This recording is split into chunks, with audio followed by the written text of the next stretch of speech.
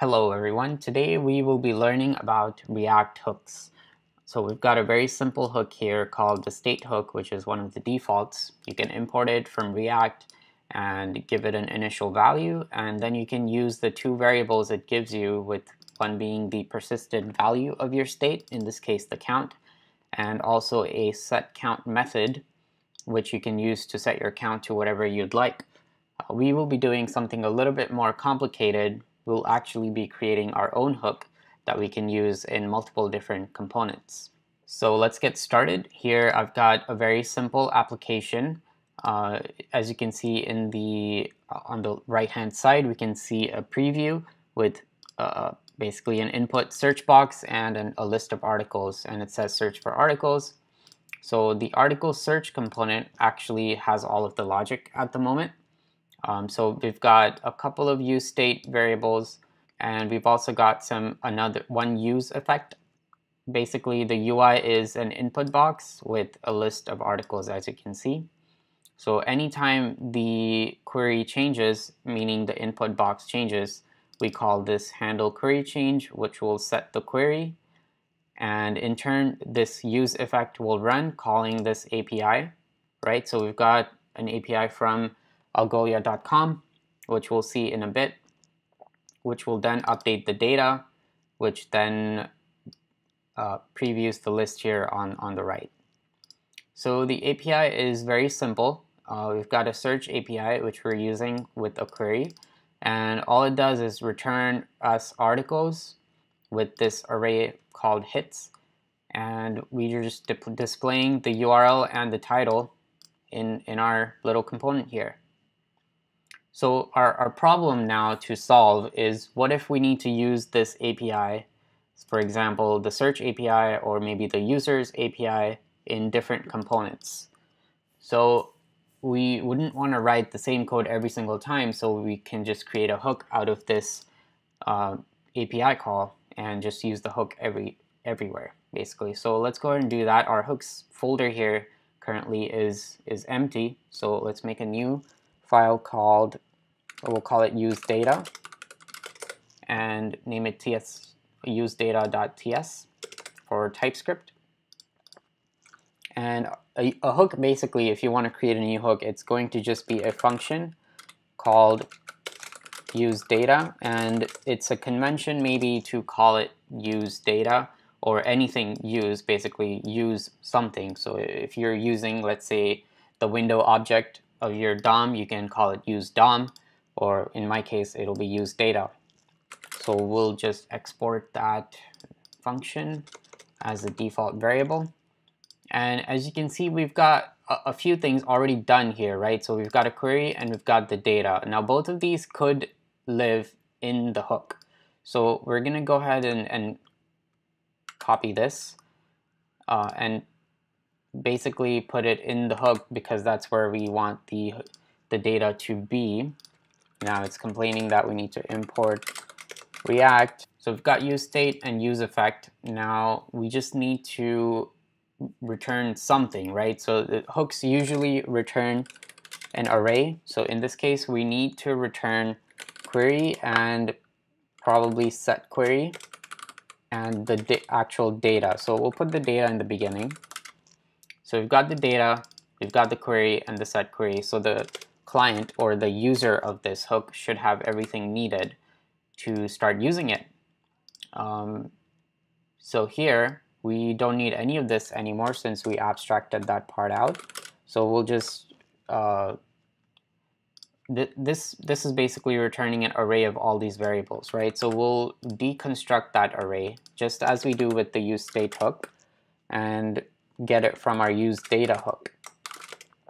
Now our use data doesn't actually take in any values um, as a as a prop as a parameter, so we don't need to really do that and we just need to go ahead and import our use data hook here. And since we're in this folder here called components, we need to go one level up, then go into our hooks folder and import it from use data. Okay, great. Um, so one update that we should probably make is add an as const here. So what this will do is freeze all of these values and their types since we're using TypeScript. So this one will be a, an array. Uh, this one will be a string and this one will be a set state action, right? So dispatch set state action. So that's one thing you should add to your hook always. Um, okay, so let's read through this a little bit and so that we understand. First thing we do is create a state for storing our query and then create a state for storing our data. So those two things we need to persist. Um, next will be a use effect action when the query changes. So we're watching the query object and then when that changes, this React will trigger this API or tr trigger this function which calls an API. Inside of that, we have an async function called fetch data, which we're actually calling immediately. Um, the reason we have to do this is because useEffect cannot take async functions. And if you need to use something like async await, then you have to create a new function within your useEffect and call it immediately with all the all the uh, details. So here we create we actually use are using Axios to make a GET request to algolia.com, which is the search API here. So the query actually comes in from our state, which you know the the hook can set. And if we go ahead and test our application, everything still works perfectly. And the list updates as soon as we call start calling it um, but we should probably do some more improvements. Um, what we really need is probably a, a loading state, right? So we need to check whether the API call is loading. And if, if we actually go ahead and open the dev tools here, go to the network tab, React. So as you can see, we're making multiple search calls, one, two, three, basically one per character. Um, so we shouldn't really be doing that. There's multiple ways you can solve this, but one way is to um, call, uh, is to actually cancel the call. So we, we can use something called cancel token. So there's three, three main improvements that we can make. So we can create a loading state for our Boolean value for, for loading, whether the API is loading or not loading. So a simple use state call with the boolean um, type and the default value will be false because we, we when we load uh, we are not actually loading anything right? Uh, the next thing will be a similar for similar state but it'll be for our error state. So this but the only difference will be we'll create a string instead of a a boolean because we want to store the state or sorry the error. So that'll be a string and we'll call it error and set error. And the last thing will be a cancel token. And for now, we'll keep this as undefined because um, we, we don't really have a token yet. Uh, so, all right, so let's get started with the loading. Uh, so we'll basically, anytime we call this API, right, we should set the loading as true. So let's do that because we next next line what we do is call the API. So obviously we are loading. So let's do set loading true here right before and then probably after we're done setting the data we should set the loading to false. Similarly, we, we can also set the error to false when we start loading because when we have a brand new API call, we we are not exactly having any error until the API actually finishes. So we can set this to empty string because that's our default state. Um, so when do we actually set the error? Here we, we don't have any try, catch, or anything. Uh, well, if you notice, we have an async function which we're calling immediately. So instead of having this this as an as a hanging function, we can actually add a catch block here, right? So this will be an error, probably an Axios error type. Um, so we can use this as our error case. So anytime this API fails, or anytime this function causes an error, we'll get this error here. We'll forget about typing that for now. Um, you should always, by the way, have your functions as typed, and I'll in, in my complete code I will have that that type if you click on the description below. All right, so the error actually will be error.response.data, or, or you can also use the generic error.message, which we'll do for now. So this will be a string, so we can add the type here. Uh, the next thing we can do is obviously set the error to the message. So anytime we, we have an error in the API call, it'll be set in this error state. All right, so now the only part left is the cancel token. All right, so the cancel token, we actually forgot to set the type here, which will be a cancel token. So this IDE gives you an option. Okay, it'll still be undefined in the beginning, but what one thing we need to do is before we set it to loading, um, we need to get a new cancel token and set it to the state. Um, so let's do that. Actually, let's do it right before we call the API. So we'll we'll get a token um, from Axios. So Axios actually has a static value for a cancel token, and we need to actually once we get this cancel token static value, we can call the source method. Um, so that's a method you call, and then it gives you a cancel token static. So for example, if we hover over this, it returns a cancel token source. Okay, so I was wrong. Let's go ahead and update this uh, type here for your cancel token. Um, and let's actually store it, right? So we can have it in our state. So set token to the token. Um, and how do we actually cancel cancel the API, right? So first thing we need to do is pass it as, as an option. So there's an option in Axios called cancel token, and we'll use token dot token. So that was probably bad naming choice there.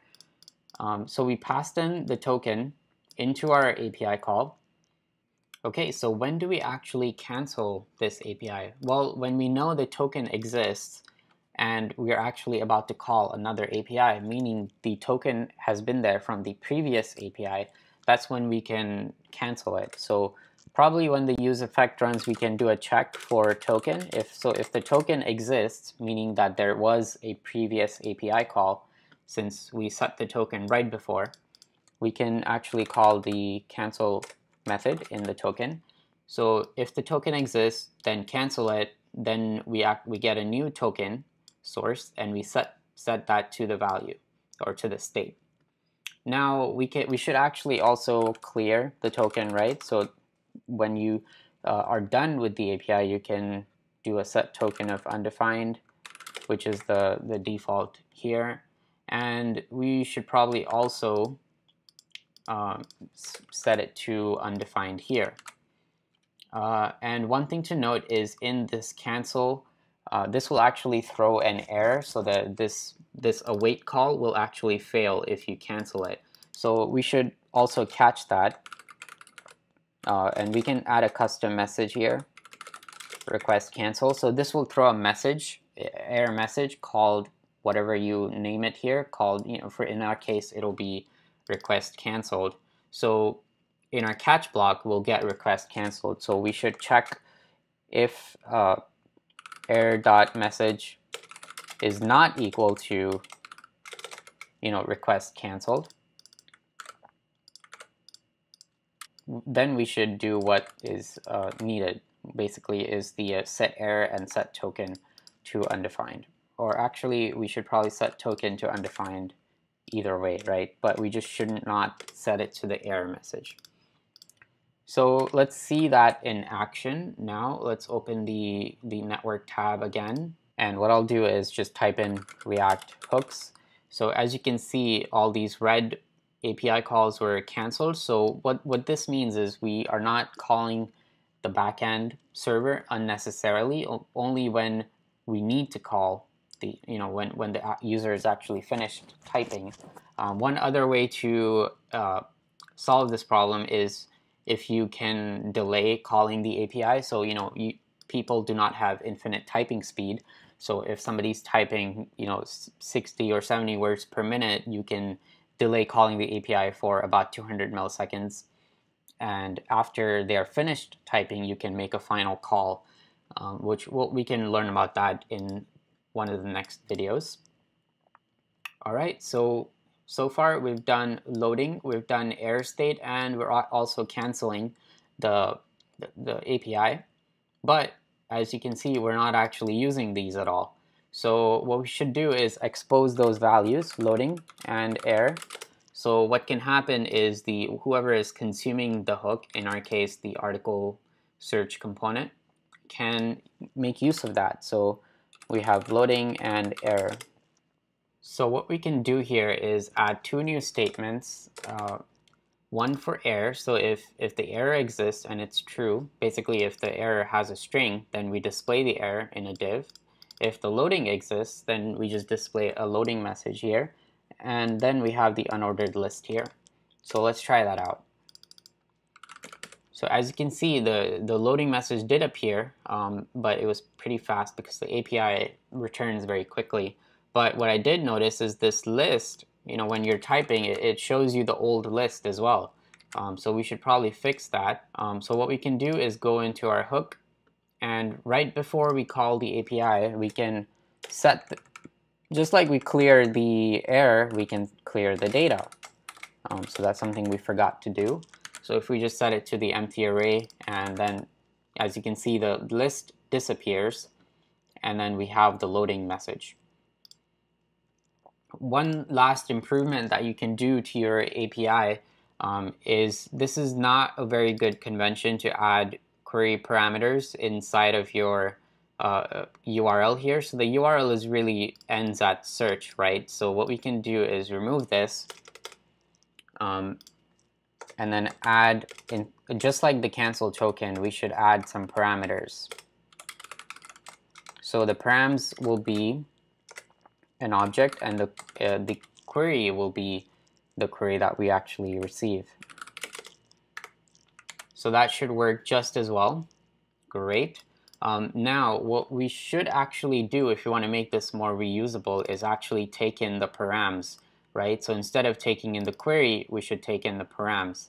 So maybe that's something that you can improve. And the other improvement that you can make here is instead of just hard coding the URL here, you can actually take in the URL um, as a parameter. So I'll put the URL here, uh, the URL variable, um, which will actually come in from our uh, use data hook. So if we take in a string, for, for URL, what we can do is when we, so the use data hook takes in, in a string, which we pass in here, and now everything works perfectly fine. So we can now use this hook with any URL we like. Um, and then the parameters can also be more generic where we take in the parameters instead of the query. So post that in the comments how you can how you go about doing that and post your solution if you have any and we'll take a look. And that is all the improvements that we can make or if you can think of anything else please post in the comments. Um, I'll be making more videos in the future on React, front-end programming, anything, um, or if you have any suggestions, please leave them down below, and we'll see you in the next video.